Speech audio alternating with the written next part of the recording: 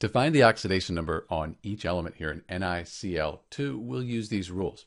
Since there's no negative or positive after the nickel 2 chloride, that means that it's a neutral compound and all the oxidation numbers, they're going to add up to zero. As we look at our rules, we can see that group 17, sometimes called 7A, chlorine is in group 17, that's the halogens. Those have an oxidation number of minus 1 with a few exceptions. Nickel's not an exception. So each chlorine is going to have minus 1. We have two chlorines, so 2 times minus 1, that's minus 2. In order for this to all add up to 0, we have to have a plus 2 here for the oxidation number on the nickel. That's why we call this nickel 2 chloride.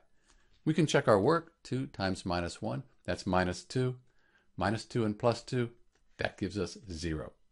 This is Dr. B with the oxidation numbers for NiCl2, nickel 2 chloride. Thanks for watching.